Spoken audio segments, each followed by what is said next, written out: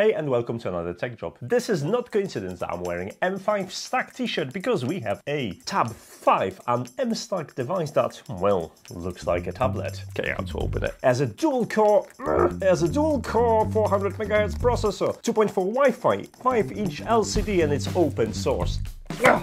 Mm, and included battery. This reminds me one of the e-paper displays from M5 Stack I was playing with in the past. Come here.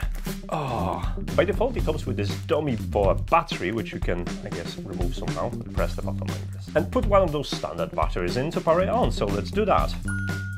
Tab 5. Oh, this screen is really nice. It's a high resolution display. Antenna, RF, USB, USB Type-C, external port, SD card, backlight, speaker, microphone, gyro, battery, everything. There is absolutely everything on it. So if you want to know more, stick around because I'm gonna have it dedicated. The device will shut down in 5 seconds. I guess it needs to charge it.